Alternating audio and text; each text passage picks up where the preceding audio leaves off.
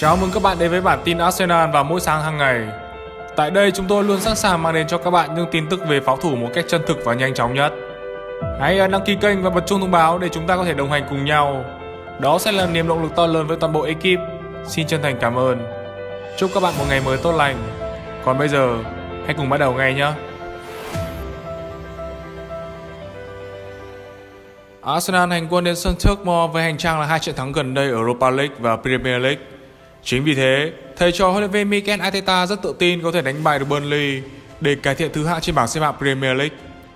Sau tiếng còi khai cuộc, Arsenal đã dâng lên dồn ép đối thủ ngay từ những phút đầu tiên và họ sớm được đền đáp với bàn thắng sớm của Aubameyang. Tuy nhiên, sai lầm tay hại của Granit Xhaka đã khiến Arsenal trả giá đắt.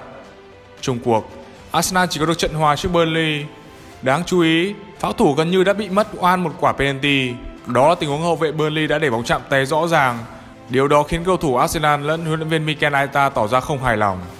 Tỏ ra bực tức sau khi kết thúc trận đấu, Arteta cho hay Hoàn toàn có thể, tôi nghĩ đó là điều hiển nhiên và rõ ràng. Tôi nghĩ không có gì phải tranh cãi cả. Nếu đó không phải là một quả phạt đền, thì ai đó hãy giải thích giúp tôi như thế nào mới được thổi penalty.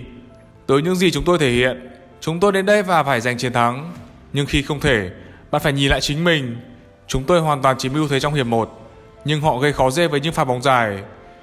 Thi đấu tại Turkmore chưa bao giờ dễ dàng, nhưng tôi phải nói rằng Arsenal xứng đáng có nhiều hơn một điểm sau số cơ hội mà chúng tôi đã có. Khi bạn có những cơ hội mà không thể tận dụng, chiến thắng sẽ không bao giờ dễ dàng. Chúng tôi tới đây để tìm chiến thắng. Các cầu thủ đã tạo ra cơ hội và đáng lẽ Arsenal phải tạo ra cách biệt hai hoặc ba bàn. Điểm nhấn của màn đọ sức giữa Arsenal và Burnley đến ở phút thứ 38. Khi ấy, câu lạc bộ Bắc London mạo hiểm triển khai bóng ngay từ phòng 16m50 và đội chủ nhà bắt đầu gây ra sức ép.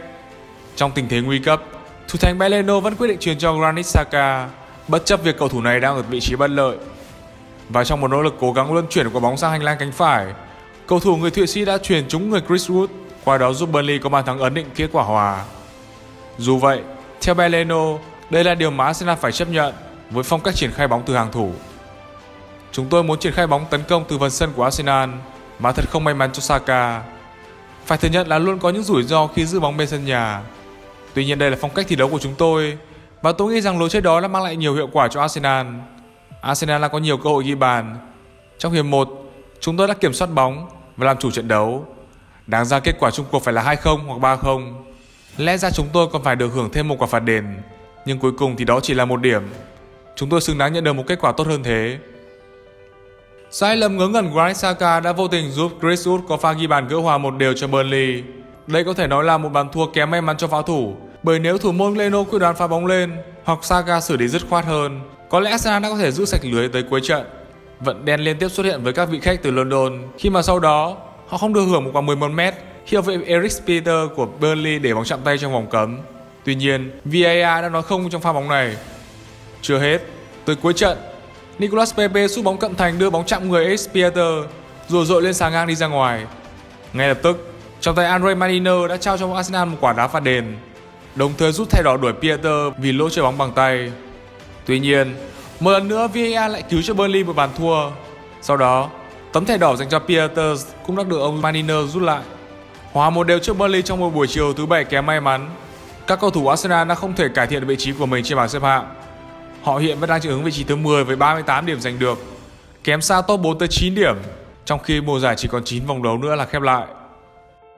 Arsenal đã bị Burnley cầm hòa đời thất vọng tại Turkmore chỉ vì sai lầm ngớ ngẩn của Granit Xhaka. Tuy nhiên, không có một cầu thủ Arsenal nào đạt mức điểm tốt ở trận đấu vừa qua. Thủ môn Leno nhận điểm 6 vì cũng phải chịu một phần trách nhiệm ở bàn thua của Arsenal. Anh chuyền bóng khi Saka ở thế khó, bị áp sát sau lưng. Hậu vệ phải Chamber cũng nhận được 6 điểm vì không tạo ra được nhiều đóng góp ở mặt trận tấn công. Cặp đôi trung vệ David Luiz, Pablo Mari không phải làm việc nhiều trước các cầu thủ tấn công có phần kém cỏi của Burnley và điểm số chỉ dừng lại ở mức 6. Kieran Tierney là người nhận điểm cao nhất ở hàng thủ Arsenal. Anh là mắt xích quan trọng trong tấn công của Arsenal, nhưng các tiền vệ cánh của Burnley rất chăm lùi về. Vậy nên Tierney không có nhiều khoảng trống để tạo ra khác biệt. Granit Xhaka là cầu thủ bị chấm điểm thấp nhất của Arsenal, 4 điểm. Anh là người mang lỗi trực tiếp dẫn đến bàn thua của pháo thủ Thomas Partey nhận điểm 6 vì không thi đấu quá nổi bật ở tuyến giữa. Bukayo Saka nhận được 5 điểm vì bỏ lỡ khá nhiều cơ hội. Anh là người đánh rơi cơ hội kết liễu trận đấu khi tỷ số là 1-0. Willian cũng nhận được 5 điểm tương tự Ngoài tình huống chuyển bóng cho Aubameyang một tỷ số, anh gần như mất tích và bị rút ra ở hiệp 2.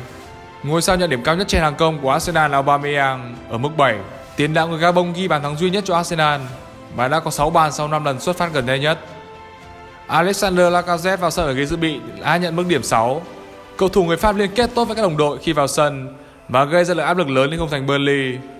Nicolas Pepe nhận điểm 5. Anh có hai cơ hội để đem về chiến thắng cho Arsenal nhưng không thể tận dụng được. Anh có một tình huống đưa bóng chạm tay Peters nhưng trọng tài không thổi penalty. Cuối trận, Pepe có một cú sút rất tốt nhưng lại bị Peters cản phá lòng vai. Dani Ceballos nhận điểm 6. Chỉ chơi 10 phút khi thay Party nhưng đã có một tình huống đưa bóng trúng cột dọc ở pha tấn công cuối cùng của trận đấu. Bạn suy nghĩ như thế nào về trận đấu này? Hãy để lại bình luận ở phía bên dưới. Đừng quên để lại một like, ấn chuông thông báo và đăng ký kênh. Chúc các bạn một ngày chủ nhật tràn đầy niềm vui. Xin trân trọng cảm ơn.